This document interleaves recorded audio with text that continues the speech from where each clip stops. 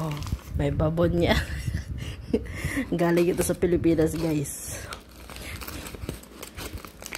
Galing ito ng Pilipinas tapos na-quarantine sa Taiwan ng 8 days. Pasalubog ni Ma'am Jeba. Open natin. Ano ang laman ng mahiwagang kahon. Tapos na sila magbaritisan. Galing ko, ano? Oh, nasama. Wait lang. Nasama na open. Bibigyan ko yung amo ko nito.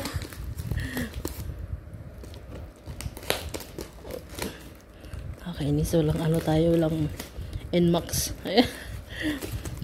so, ayan na nga. Nasama siya.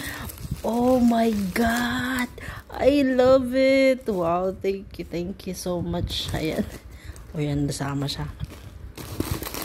Ang dami. Patabain tayo. Ay, ito yung gustong gusto ko. Ito yung pinaka gustong gusto ko. Kasi kailangan ko ito pag nagbibiyahe sa car kasi nahihilo ako at nasusuka. So, kailangan ko ng ano, snowbird. Eh, ang sa... Hmm, salamat. Ayun, no. Kakanin. Pili tart.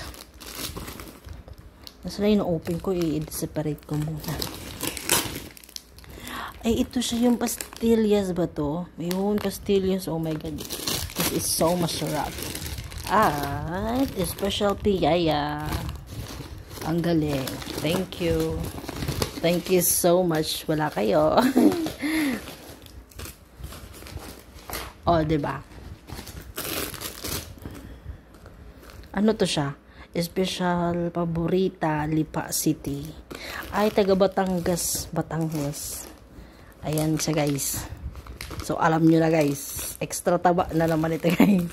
Ito pinaka ano, the best dito is no tubing nasasakay ako sa, sa car kailangan ko talaga tapos ito, din cheesy, cheesy, cheesy whiz. Thank you.